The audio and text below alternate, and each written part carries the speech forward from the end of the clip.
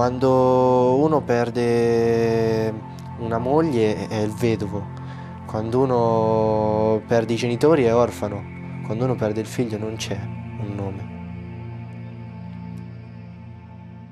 Al Teatro Mecenate di Arezzo è andato in scena il format Ogni giorno, un progetto rivolto agli studenti delle scuole superiori di primo e secondo grado del territorio aretino. In platea oltre 600 ragazzi per una riflessione sulla sicurezza stradale. Il 10 settembre 2013 Francesco Saccinto è uscito di casa e non è più tornato. Francesco Saccinto, per gli amici Saccio, è mio figlio.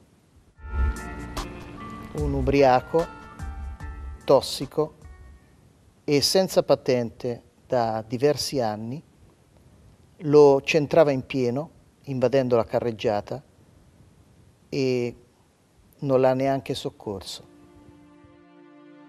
Questo format è condotto da Luca Pagliari, dal giornalista Luca Pagliari ed è reso possibile anche all'associazione Rose Bianche sull'asfalto, nata a seguito della scomparsa di Francesco, che si incontra sul palco con la storia di Micaela. Micaela ha 21 anni, è una ragazza che è entrata a San Patrignano minorenne, con già parecchi anni di dipendenza alle spalle.